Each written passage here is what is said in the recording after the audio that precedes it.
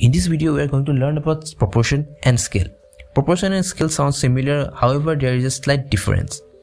Proportion means the size relationship between various aspects of the same object like between size of an eye in relation to the face.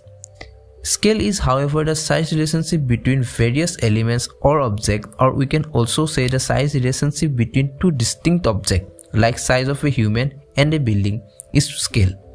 Proportion and scale is widely used together for creating an artwork so that it can create depth, realism, disorientation or even dramatic scenes etc.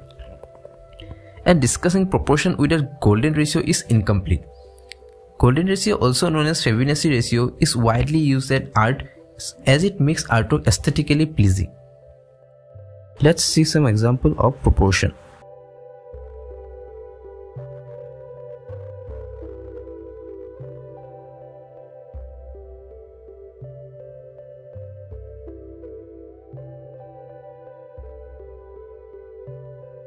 Now let's see some example of scale.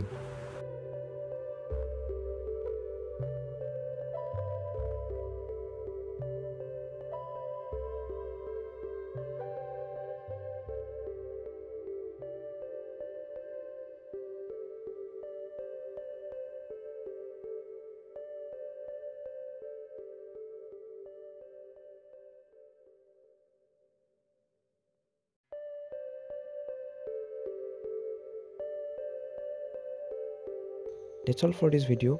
I hope this video was helpful for you. Thank you for watching.